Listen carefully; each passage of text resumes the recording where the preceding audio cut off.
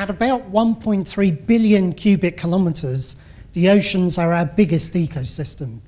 The oxygen in one out of every two breaths you take in this room come from microscopic algae in the surface layers of the ocean. The ocean also provides other obvious services such as food and less obvious ones such as carbon sequestration. About half of the oceans by area are what we call the high seas. It's a global commons.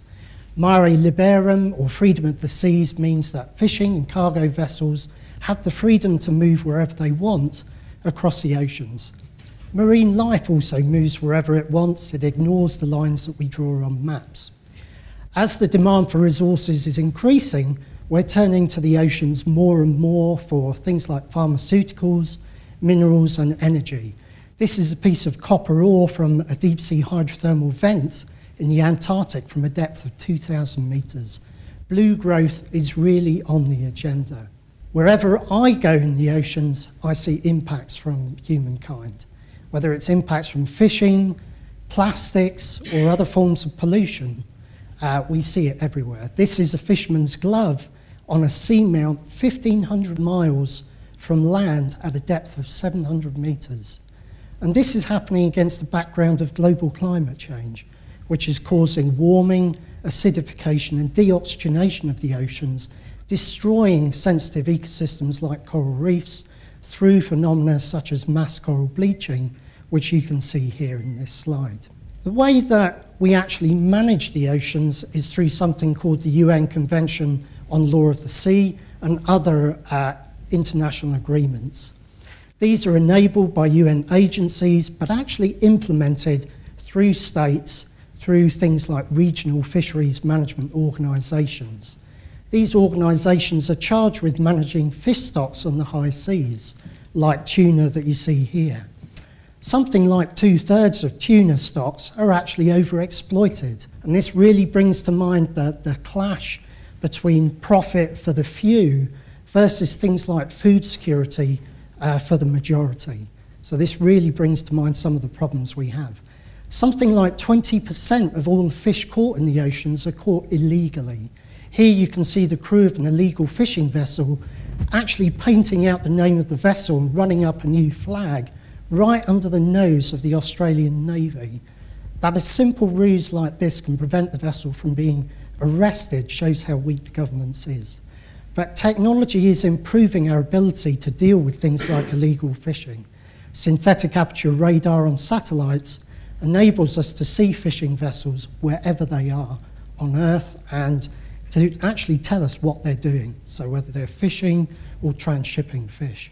New technology is also enabling us to exploit new resources in the oceans. This is a deep sea mining machine being built in the UK to exploit hydrothermal minerals from a depth of 1600 metres off Papua New Guinea. New technology is also enabling us to explore the oceans in ways we haven't been able to. So, at a depth of 4,000 metres, we've only actually visited about 0.00001% of the oceans.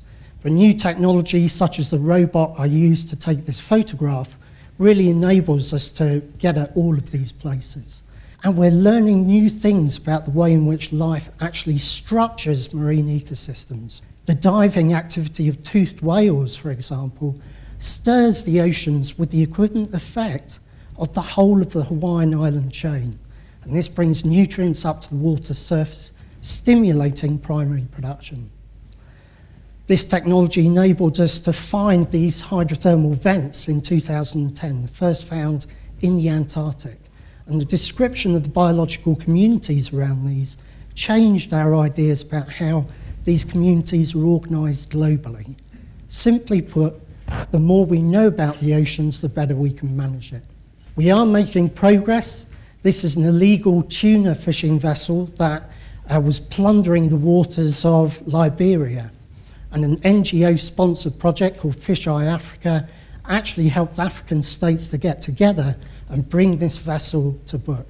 Overexploitation of the ocean's resources directly impacts people.